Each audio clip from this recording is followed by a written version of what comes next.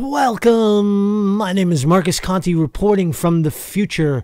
Welcome, fellow time travelers.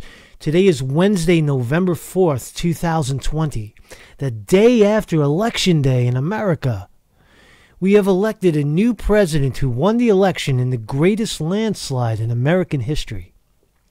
The president received a whopping 75% of the vote and his vow to end poverty and slave wage employment in America, to end our reckless and illegal insurgency wars abroad, to cut military spending in half, to restore fairness and balance to the economy by raising taxes on large corporations, billionaires, and other criminal tax evaders, to enforce antitrust laws to the full extent of the law to suspend personal income tax for 10 years for those making less than $250,000 per year, to enforce current immigration laws to the full extent of the law, to extend to to secure our borders from illegal intervention, to get money out of politics and make bribery illegal again, to hold fair and free elections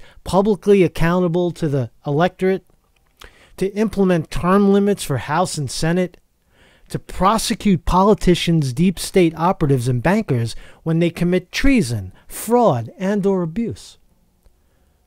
To wean the country off fossil fuels and implement a 100% green new energy policy through a massive public jobs work program to extend free Medicare health care to all citizens as a human right to extend free public education to the college level, to expunge all existing student loan debt, to encourage every American to exercise their full right to bear arms, and to end the war on drugs through legalization, education, and treatment.